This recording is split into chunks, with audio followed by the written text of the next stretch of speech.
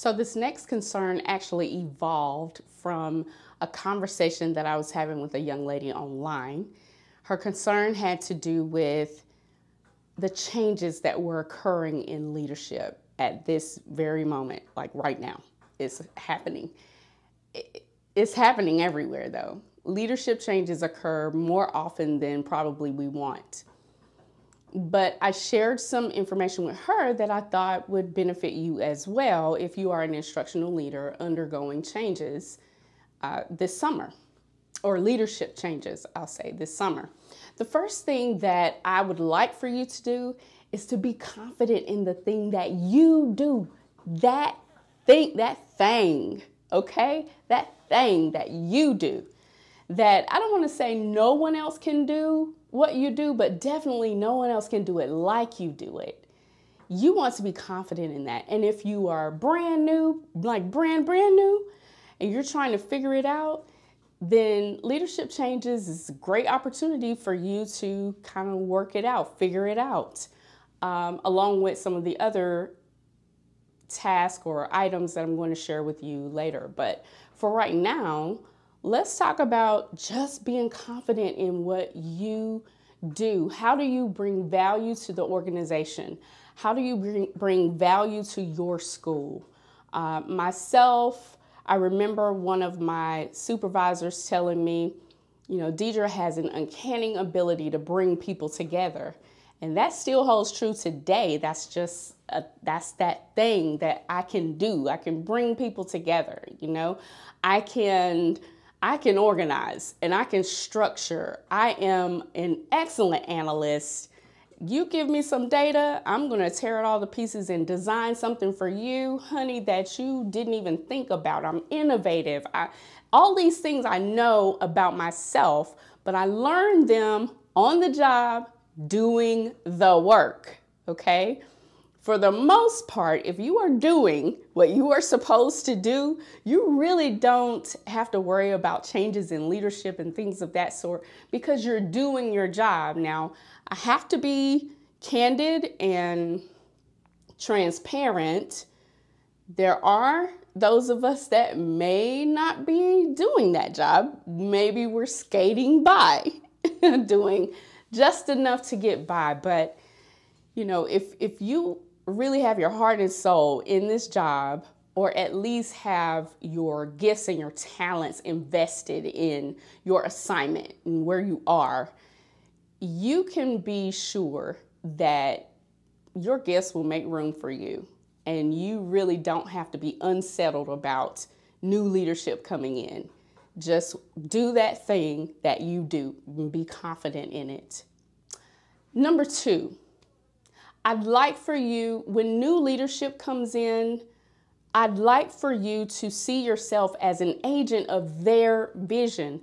Many times we get frustrated and we are unsettled about leadership because we're actually trying to be the leader or be in charge or hold a particular position or do perform the actions of a particular position that you have not been hired for.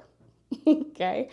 Uh, and I don't know any other way to say that you want to make sure that you see yourself as an agent of your supervisor's vision. Okay, as as an assistant principal, I thought of myself as an agent of my principal's vision.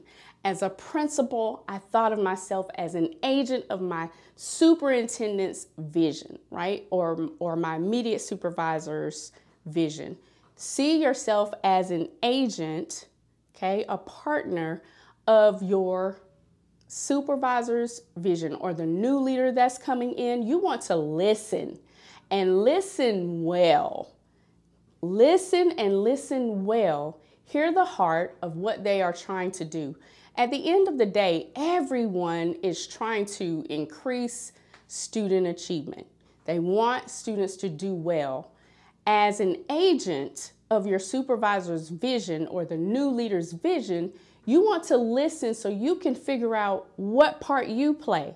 You're listening for how you can help move that vision that that leader has because your greatest victory. No matter how many accolades you have no matter what what uh, achievements you you acquire i want you to know that your greatest victory your greatest achievement is when your new leader or your leader supervisor when they look great when they look great okay? So don't fall into the trap of being impatient and I, listen i have been there. I'm so guilty. I feel bad for telling you because i'm so guilty. But don't fall into the trap of being so impatient that you miss out on this journey to be great on this journey to fine tune and tweak and develop okay? Think of yourself as being behind stage. You're you're backstage right now and you are getting ready because eventually you will be the new leader and it will be your turn. And when it's your turn, that's not the time to get ready.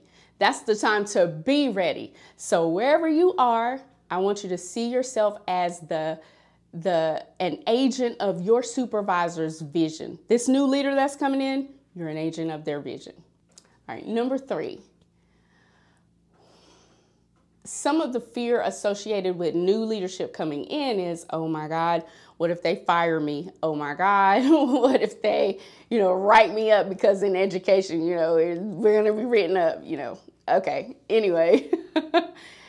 um, what if they bully me? What if they harass me? What if they, you know, are mean to me? What, what if they don't hear me? What if they don't see me? These are all legitimate feelings and emotions that you have, you probably have, but you can rest in knowing, and, and I had to learn this, right?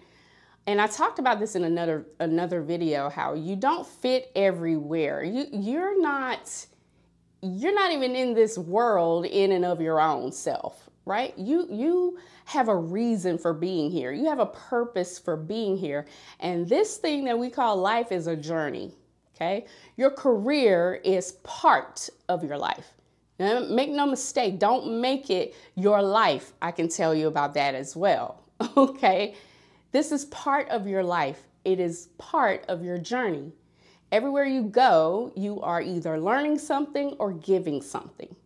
So when you're in these spaces as an instructional leader, you're trying to figure out what do I give to this situation and what do I learn from this situation. So I said all that to say if any rejection occurs or if, if there's any miscommunication or any friction, anything that might happen, right?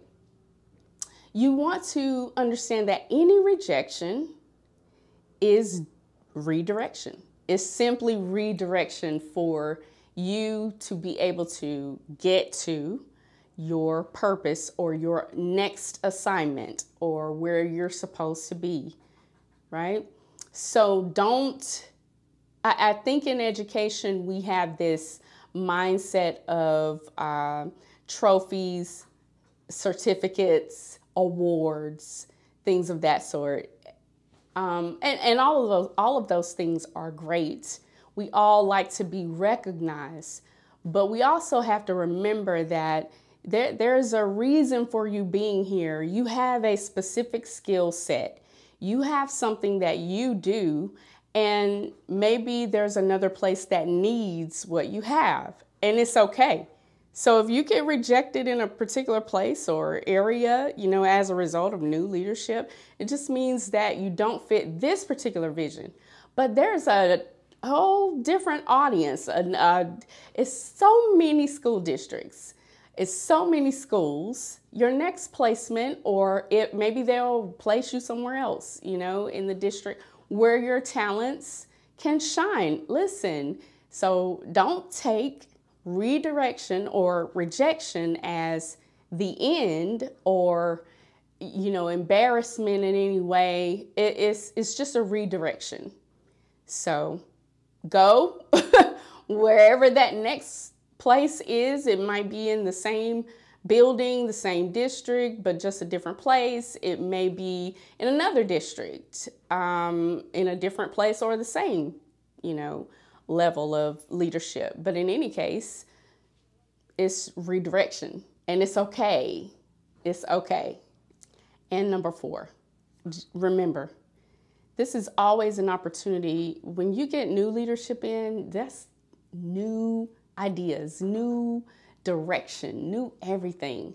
And so that thing that you do that I talked about, this is the opportunity for it to be uh, reshaped, for it to grow, for it to expand, you know, um, for you to use your gifts and talents, but maybe in a different light. So, an opportunity to grow and expand.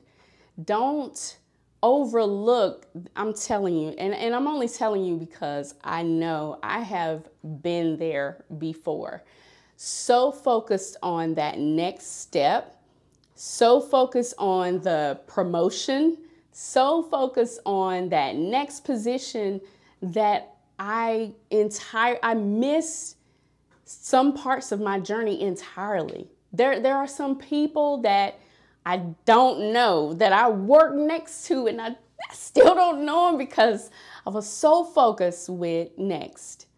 But be present in this moment so that you can take advantage of this opportunity to grow and to get better and to be excellent at what you do.